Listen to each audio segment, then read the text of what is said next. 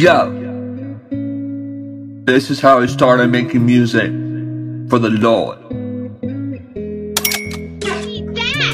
I was a lot younger than what I am now.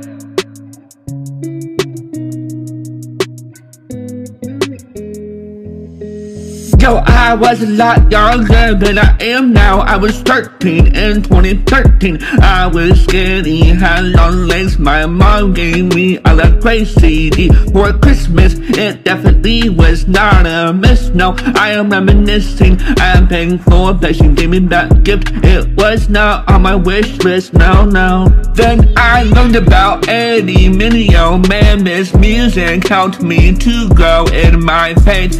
There's always space to go. Then I started dreaming about making music. Then I started to believe that I could. Then God told me that I should.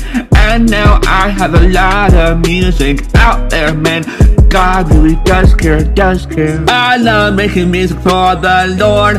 I love it all the way down to the core. I love making music for the Lord, for the Lord, for the Lord. Oh yeah. I love making music for the Lord. I love it all the way down to the core. I love making music for the Lord. For the Lord, for the Lord, oh yeah. 2017, I was part of the Bridge Music Project. It really affected my passion. It started to happen. Man, we made a song called Be Strong. I want to be strong in the faith every day, all day long. 2019, I got an iPad. I was so very glad I started making music. On GarageBand, my music started to pan out. Now I record on BandLab. I've collabed with quite a few people. I've made five albums. Oh, now on six. What it makes man, God is always here during COVID. We should not fear. Made the light album. I want to do good in God's sight.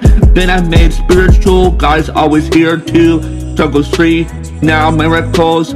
God helps me to be lyrical. Man, how I've grown. I love making music for the Lord. I love it all the way down to the core. I love making music for the Lord, for the Lord, for the Lord. Oh yeah.